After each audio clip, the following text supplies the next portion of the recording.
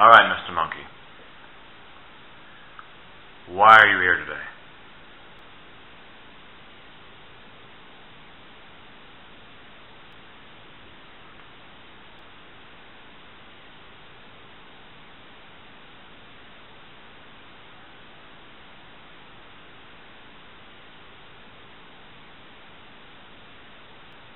Mr. Monkey, please speak.